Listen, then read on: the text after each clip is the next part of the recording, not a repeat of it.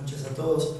Eh, quiero hacer algunos comentarios que se estructuran a partir de lo que dijo Francisco, pero ya más sobre el reporte en sí. El reporte presenta 10 prioridades. El reporte en la segunda mitad del año lo que hace es consultar a todos los think tanks acerca de cuál es la visión de los especialistas en relación a eh, estos 10 tópicos y el grado de urgencia que ellos tienen, eso desde el punto de vista, desde el punto de vista metodológico. ¿Por qué es importante este resumen? Primero porque marca la red de los think tanks que forman, que coayudan a formar política desde el punto de vista global, pero lo más importante es que marca las percepciones de los agentes. Entonces, acá hay un dato muy importante en lo que se está remarcando, primero las palabras del presidente y después de, de Francisco, que es una percepción negativa en ascenso, si ustedes quieren, o mejor dicho, o, cambiando la, perspectiva, hay menos, menos espacio para el optimismo. De cara al futuro, lo que, lo, que los especialistas están mirando es que el mundo rápidamente está en el camino no adecuado para resolver estos problemas y esto es lo primero que marca el reporte. El reporte no es un PDF tradicional, es un, es un un reporte interactivo y lo más importante es que tiene dos grandes áreas, ¿no? lo que son la prescripción de políticos, o sea, qué es lo que el panel de expertos o lo que los expertos recomiendan, que es algo muy importante, eh, y también en qué se fundamentan las opiniones. Por lo tanto, son opiniones este, estructuradas y fundamentadas las que se, se discuten ahí. Pero el otro componente, que no es menor, es que cuando ustedes abren las, las pestañas, tienen un núcleo, una serie de números que son relevantes para el tópico que se está, que se está discutiendo. Es un poco lo que yo le voy a sumar a eh, los comentarios que hizo Francisco. Digamos, me gusta ponerlo en, términos taxativos porque el reporte es taxativo. En primer lugar, que es lo que dice que la cooperación es más, comple más, más compleja y eh, a la vez por así decirlo, mucho más necesaria de cara a las prioridades existentes en los próximos 10 años. Como bien señalaba Francisco, hay tres tópicos que, que, cobran relevancia en el 2019, que son cambio climático y manejo de la economía global. ¿Por qué? Porque son fuentes de inestabilidad y fuentes de rispidez en geopolíticas estructurales. Ahora, ¿qué era lo interesante? En el 2018 ocupaba la posición número 5 y sexta eh, respectivamente. ¿no? Cambio climático estaba quinta y eh, manejo de la economía global estaba sexta. Bueno, hoy son prioritarios, ¿no? y sobre todo que esto venga de Occidente de cara a que eh, tan, de comillas, simpáticamente, estemos hablando de una guerra comercial y de las consecuencias que una guerra comercial tiene para países como para las potencias medias, es un, no es un dato menor. ¿Y qué sucedió? La proliferación nuclear está en tercer lugar. ¿Qué es lo, interesante de la cuestión de proliferación nuclear? Es que si bien en el 2018 estaba primera, ahora está en el tercer lugar, pero el, el, reloj nuclear, por así decirlo, se ha vuelto a correr y ahora estamos dos minutos antes de la medianoche, lo cual no es, no es un dato menor porque desde la, digamos, desde la llegada de Donald Trump, en realidad para ser un poco justos con los Estados Unidos, un poquito más atrás es que el reloj se viene corriendo desde esos 5 minutos to midnight, se ha venido corriendo sistemáticamente y eso es lo que señalaba Francisco en relación a, relación a la cuestión de la preparación nuclear. Y que además, si bien el mundo ciber es un mundo importante, hay una cuestión que el reporte señala muy bien, es que en este momento, eh, preparadas para utilizar, digamos, bombas o cabezas nucleares activas o el sistema nuclear activo entre todas las potencias nucleares declaradas, este, aproximadamente están en, el número de las 14.465 ojivas activas en el mundo. O sea, la, cuestión nuclear sigue siendo un tema muy neurálgico y el CARI ha tenido la suerte de eh, tener con la visita de Bolsonaro y acá un punto clave para, para pensar cuando hablamos de la cuestión nuclear en América. Es una visión optimista del secretario académico. No, no, no, justamente terrible. Después les comento más. Pero justamente para relevar lo importante que esto ha sido y que esa discusión ha tenido acá, acá lugar en el CARI.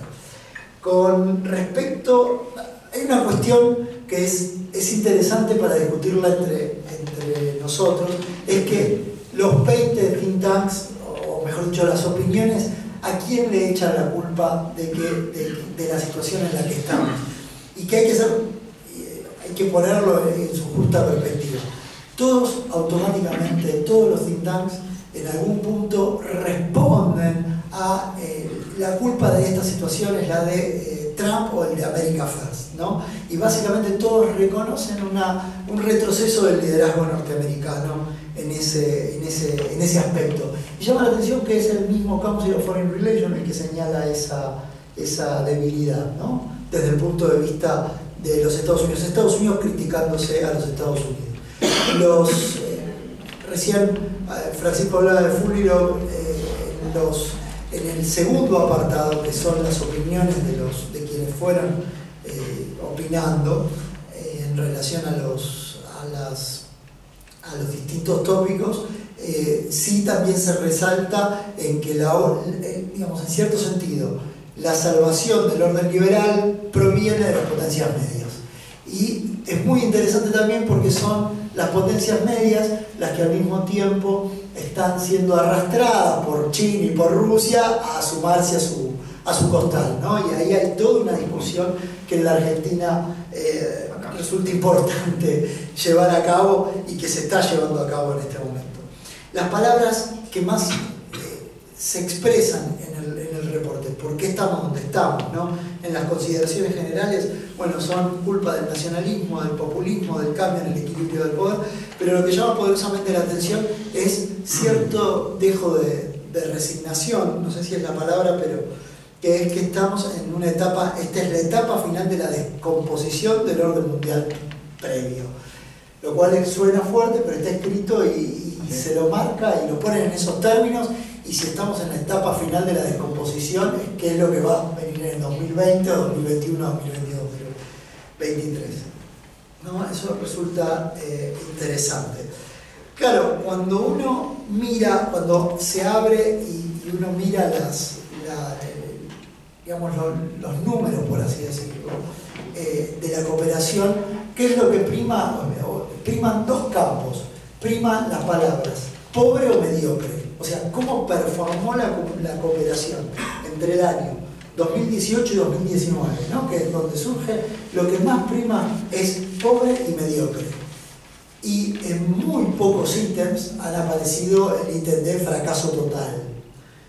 Eh, por, mencionar algunos de los, de los ítems. La cooperación en general, global, fue 40% mediocre, o sea, cuando uno toma el, reporte en, su totalidad, el 40% fue, considera que la cooperación ha sido mediocre, o sea, que había más expectativa de lo que efectivamente podría haberse alcanzado, y 25% pobre directamente. No un, un completo, pero sí pobre. Eso habla del estado de ánimo en general, de, cómo se está mirando el, futuro. El futuro parece lluvioso, nublado, como, como estamos en estos días en, Buenos Aires.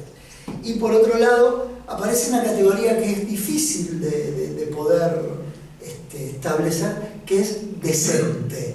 Eh, en términos argentinos, la expresión, ni fu ni fa vendría a ser la vieja, la vieja palabra. Bueno, eso, eso parecería ser Es aceptable, aceptable, pongámosle en términos más optimistas, y 15% bueno. Pero desaparece completamente la idea de success. La idea de éxito está completamente borrada. ¿no? Y, realmente es un dato eh, no, no menor. Y acá quiero construir sobre una de las cuestiones que, vinculaba Francisco recién con respecto a la proliferación nuclear. El 35% la considera pobre, el 15% la considera mediocre, la, proliferación nuclear, que estamos fallando, o sea, la perspectiva es que, esto, que el TNP que se va a negociar el año que viene vaya para, para peor. Pero lo interesante es que en temas de proliferación nuclear ya ahí aparece la consideración de fallo, hay un fracaso en y no es un dato menor, porque si bien es, es, es, chiquita, es el 10%, eh, es uno de los ítems donde, donde aparece. Donde además aparece eh, la prevención de los conflictos interestatales. Cerca del 60% considera que estamos fracasando en este punto. ¿sí? Y los conflictos que se mencionan son Ucrania, Irán, China y Rusia, pero ¿a quién hacen responsable? A los Estados Unidos. Dato interesante en el reporte, porque aparece Estados Unidos siendo responsable y en segundo lugar a Rusia en relación a, a Ucrania. ¿Y qué aparece? Que hay que leerlo en función de lo que nos interesa, lo que le interesa a la República Argentina. Un llamado a la reconstrucción de las normas internacionales, pero el segundo pedido que se hace es en relación a la integridad territorial. La integridad territorial tiene un valor que para nosotros no deja de ser un capital político muy importante. Independientemente de quiénes son los actores, el hecho de que eh, se rescate la integridad territorial no, no, es un dato, no es un dato menor porque se enlaza justamente con los eh, conflictos internos violentos y no solamente la idea del proceso, sino también la idea de los estados desgarrados que también terminan generando más eh, inestabilidad. Un punto sobre la cuestión de la gobernabilidad del ciberespacio aparece con fuerza, pero aparece con fuerza en la discusión, pero va creciendo de a poco. ¿Qué quiere decir esto? En el 2017 estaba mucho más atrás de lo que estaba en el 2018 y lo que está ahora, considerado. Ya va creciendo un punto a punto al año, crece lentamente. Pero, ¿cuál es el mayor problema que se está enfrentando en ese, en ese campo? Es el problema de la confianza y lo difícil que es llevar a la práctica todas aquellas cuestiones que se acuerdan en distintos foros multilaterales. Justamente se está pidiendo mayor grado de gobernanza en el ciberespacio y para eso se necesita multilateralidad, en realidad para todos estos tópicos se necesita multilateralidad y sin embargo se está fracasando en ese, en ese aspecto de manera sostenida. Los puntos, no, no, ya, ya se completamos. Dos, dos temas para, para, terminar. En terrorismo hay, hay un punto interesante desde lo, lo, que es mediocre y decente, por así decirlo, pero que hay algún avance, pero hay un punto positivo. ¿Cuál es el, punto en el cual mejor se ranqueó eh, en este informe? En avances al desarrollo, que lo consideran decente, el grado de cooperación, y en salud, que también se considera decente y es en el único lugar donde aparece una pequeña llamada de que acá la cooperación global ha sido exitosa.